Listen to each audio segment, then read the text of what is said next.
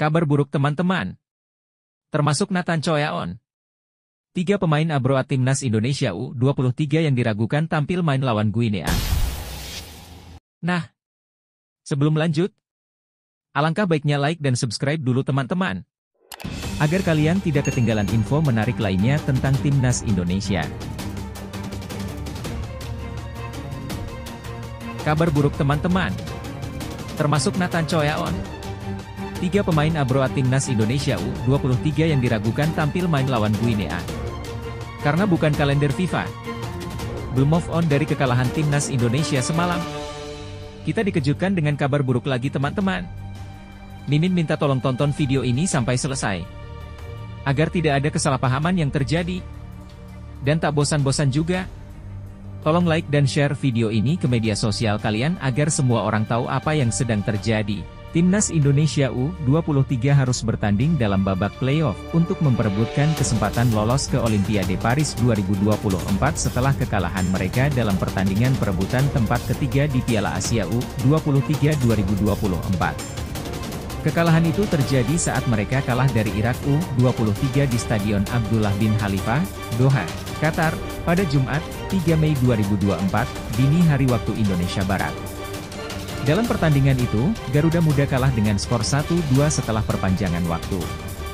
Keputusan itu menyebabkan timnas Indonesia U23 tidak dapat meraih salah satu dari tiga tiket otomatis untuk Olimpiade Paris 2024. Hanya juara 1, 2, dan 3 di Piala Asia U23 2024 yang berhak langsung lolos. Sementara itu, tim yang menempati posisi keempat masih memiliki kesempatan untuk lolos ke Olimpiade, namun harus melalui playoff melawan Gini. Pertandingan melawan Gini U23 dijadwalkan pada 9 Mei 2024. Namun, pelatih Shin Taeyong mungkin harus menghadapi tantangan karena beberapa pemain kuncinya mungkin tidak dapat bermain karena berbagai alasan. Berikut adalah tiga pemain timnas Indonesia U23 yang bermain di luar negeri dan diragukan bisa bermain melawan Gini U23. 1. Marcelino Ferdinand Marcelino Ferdinand adalah salah satu pemain timnas Indonesia U23 yang mungkin tidak bisa bermain melawan Gini U23 karena harus kembali ke klubnya di Belgia, KMSK Deinze, yang masih aktif berkompetisi. Meskipun demikian, Marcelino telah menjadi salah satu andalan dalam skuad Garuda Muda. Dia mencetak dua gol dalam Piala Asia U23 2024, termasuk dalam pertandingan melawan Yordania U23. 2. Justin Hubner Justin Hubner, yang bermain untuk Cerezo Osaka setelah dipinjamkan dari Wolverhampton Wanderers, juga mungkin absen karena akumulasi kartu kuning. Namun, masih ada kemungkinan dia bisa bermain jika kartu kuningnya dihapuskan dan dia didaftarkan kembali untuk playoff Olimpiade Paris 2024. 3. Nathan Choyaon Nathan Choyaon, yang juga terancam tidak dapat bermain melawan Gini U23 jika tidak mendapat izin dari klubnya, SC Heerenveen. Meskipun mendapat izin untuk bermain dalam babak penyisihan grup, belum jelas apakah dia akan mendapat izin lagi untuk pertandingan berikutnya. Nah, sebelum lanjut mendengar berita ini, buat para netizen, keluarkan satu kalimat pamungkas untuk menanggapi kabar buruk ini teman-teman. Menurut kalian akankah timnas Indonesia U23 mampu mengalahkan Guinea di babak playoff?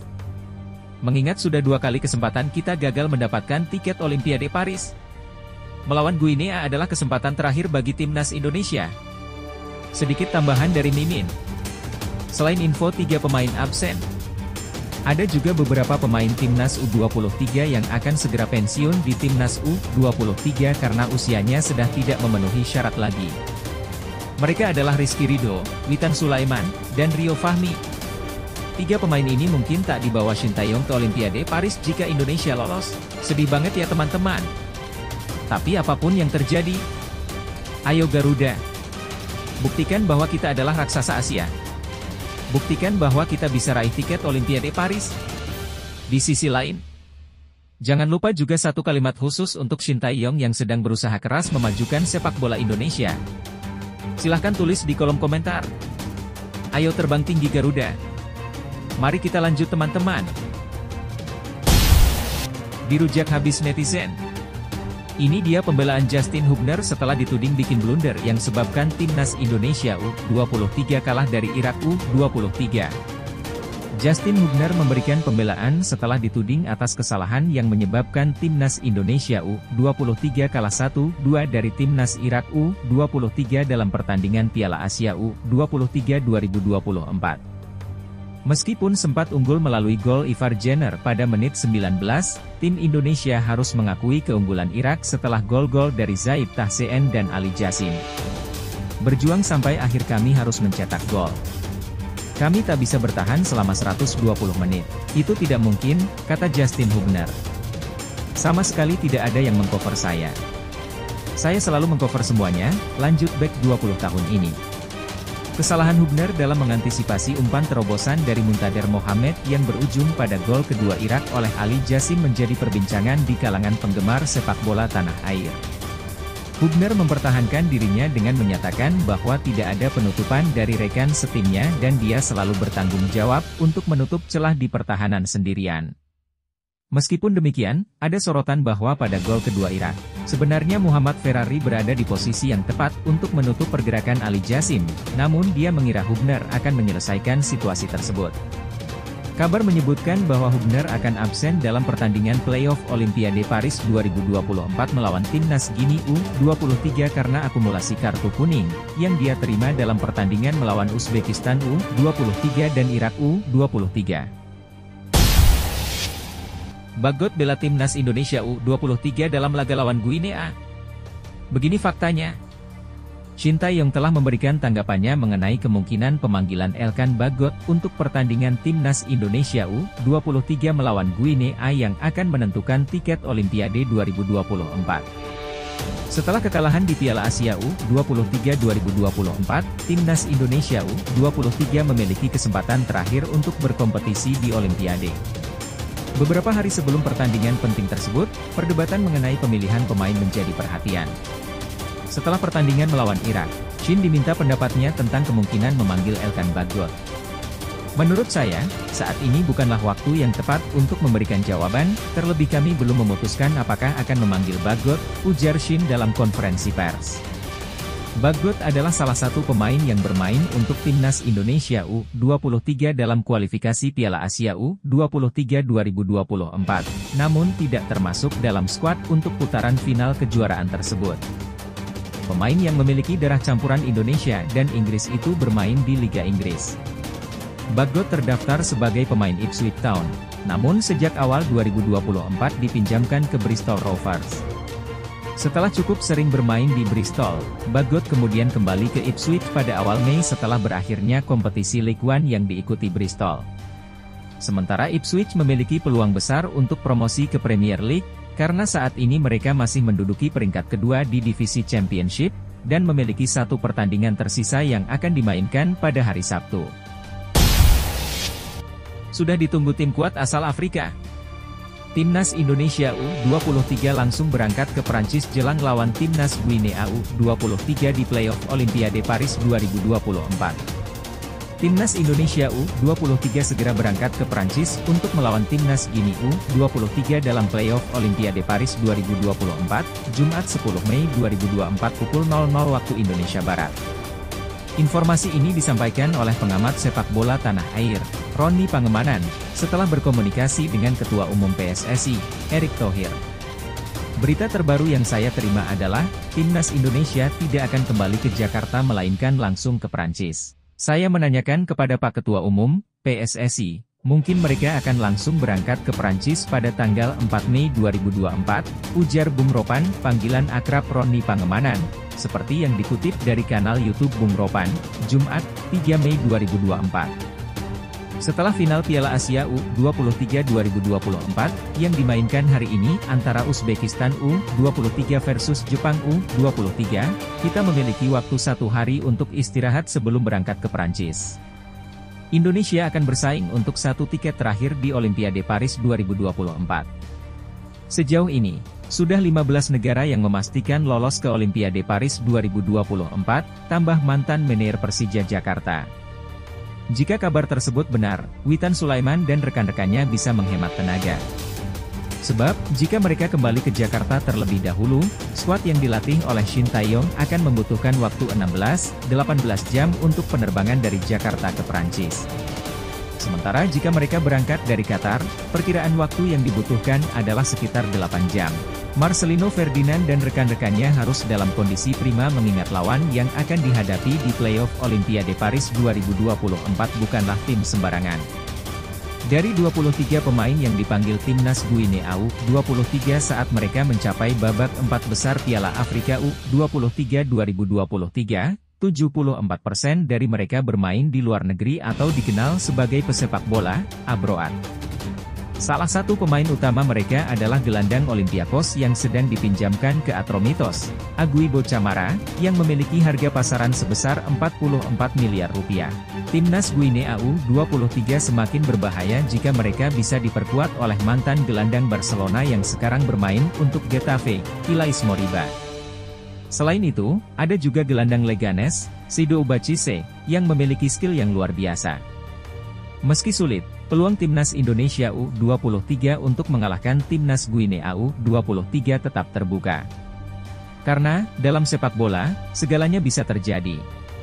Rencananya, pertandingan akan diadakan di tempat pemusatan latihan Timnas Prancis, Clairefontaine, pada Jumat 10 Mei 2024 pukul 00. Pemenangnya akan langsung melaju ke Olimpiade Paris 2024.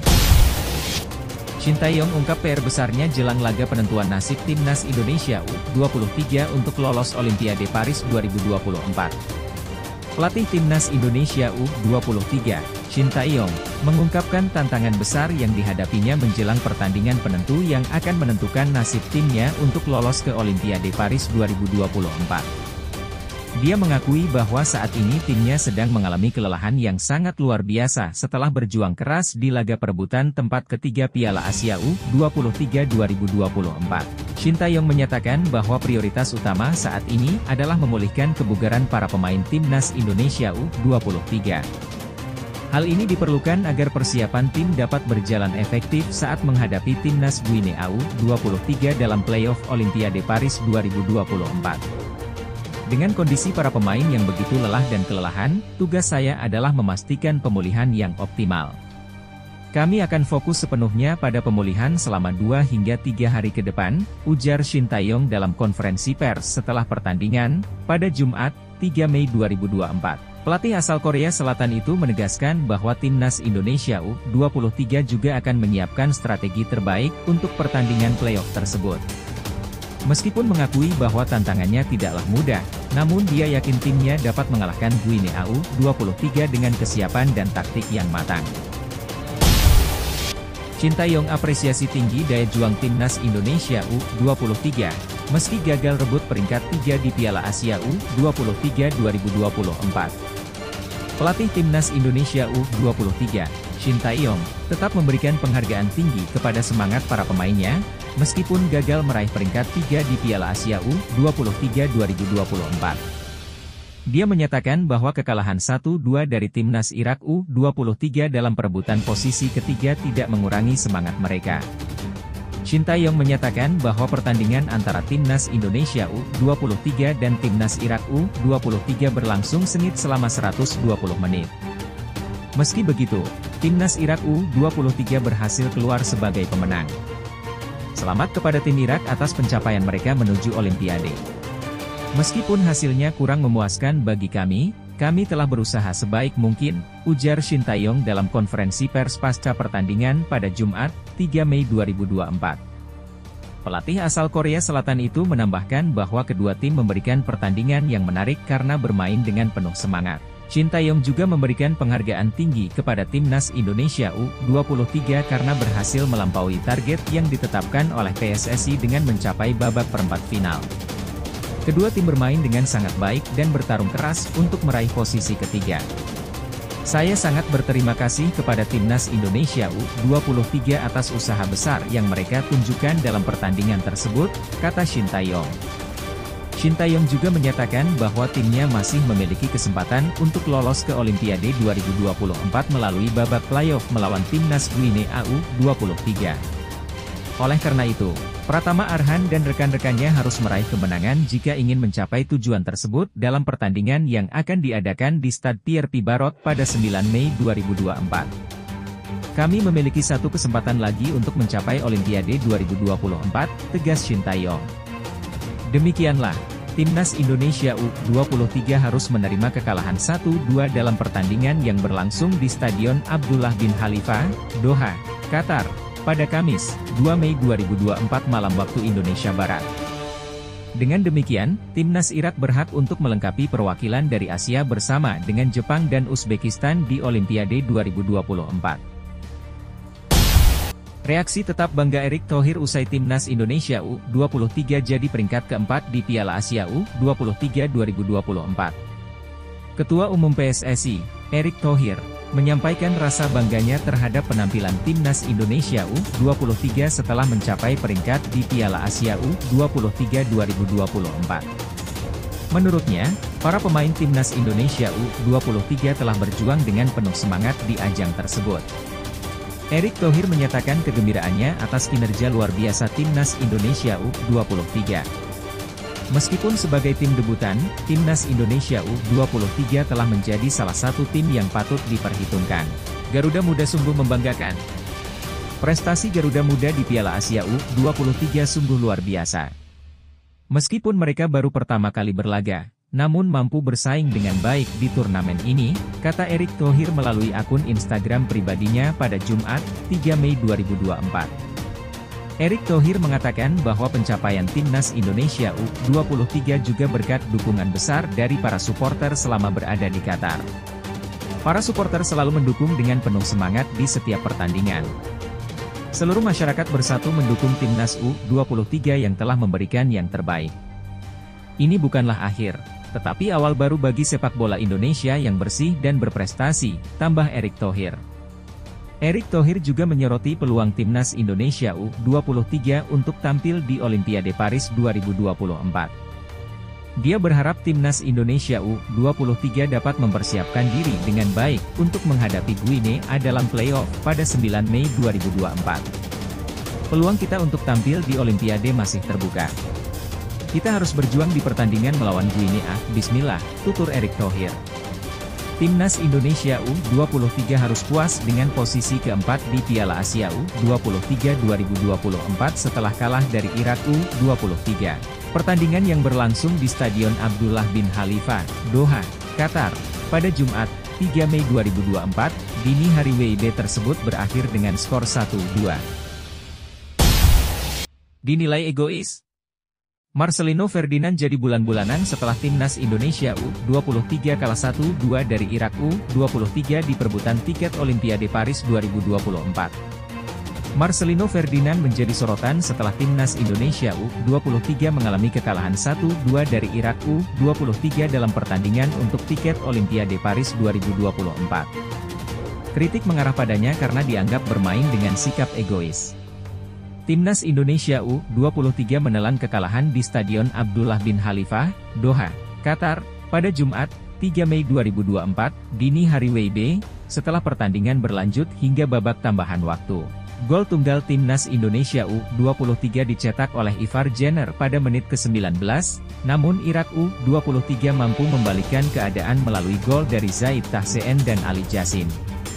Kekalahan ini menyebabkan timnas Indonesia U23 gagal meraih tiket otomatis ke Olimpiade Paris 2024, karena hanya juara 1, 2, dan 3 di Piala Asia U23 2024 yang mendapatkan tiket tersebut.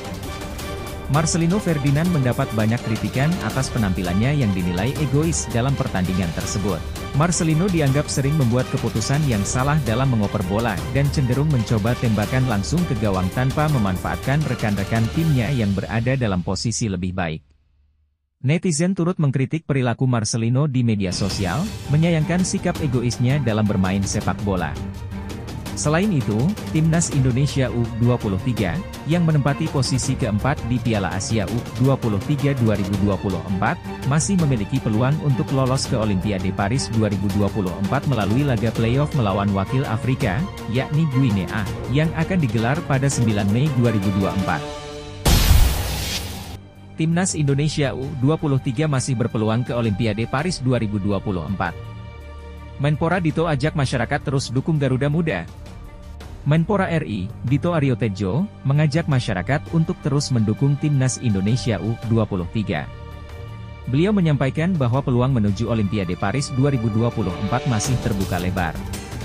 Pada pertandingan perebutan tempat ketiga Piala Asia U23 2024, Timnas Indonesia U23 menghadapi Timnas Irak U23 dan kalah dengan skor 1-2.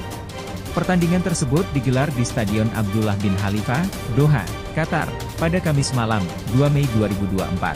Meskipun Timnas Indonesia U23 berhasil mencetak gol lebih dulu melalui Ivar Jenner, menit ke-19, namun gol tersebut disamakan oleh Zaid Tahseen pada menit ke-27. Pertandingan berakhir imbang hingga waktu normal, namun Timnas Indonesia U23 harus menerima kekalahan di babak perpanjangan waktu melalui gol Ali Jasim pada menit ke-96. Meskipun mengalami kekalahan yang dramatis, Menpora Dito memberikan apresiasi kepada seluruh pemain Timnas Indonesia U23 atas perjuangan mereka yang gigih dan memberikan perlawanan yang berarti. Menpora Dito menyatakan, saya merasa bangga dan memberikan apresiasi kepada Timnas U23. Mereka menunjukkan agresivitas yang luar biasa dan mendominasi serangan. Kekalahan ini membuat Timnas Indonesia U23 gagal meraih tempat ketiga dan tiket langsung ke Olimpiade Paris 2024.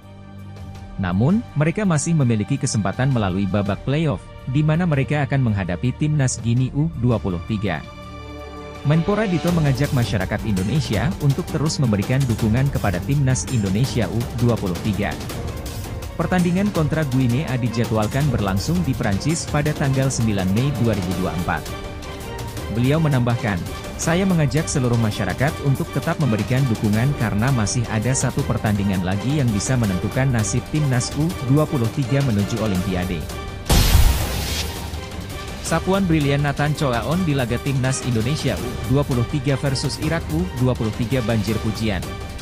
Aksi gemilang Nathan Choaon dalam pertandingan Timnas Indonesia U23 melawan Timnas Irak U23 memicu banyak pujian.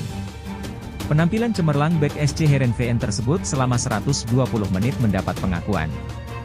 Meskipun timnas Indonesia U23 kalah 1-2 dari Irak dalam perebutan posisi ketiga Piala Asia U23 2024, namun gol dari Ivar Jenner, 19, sempat menggetarkan dukungan dari para penggemar. Namun, Zaid Tahseen, 27, berhasil menyamakan skor untuk Irak. Pada menit ke-72, Serangan balik cepat Nihat Mohamed hampir membuat Irak unggul, tetapi Nathan dengan sigap melakukan clearance untuk menjaga gawang Hernando Ari tetap aman. Meskipun demikian, meski harus mengakui kekalahan, penampilan Nathan mendapat sorotan positif dari netizen. Mereka memberikan pujian dan mendoakan kesuksesan Nathan di Eropa.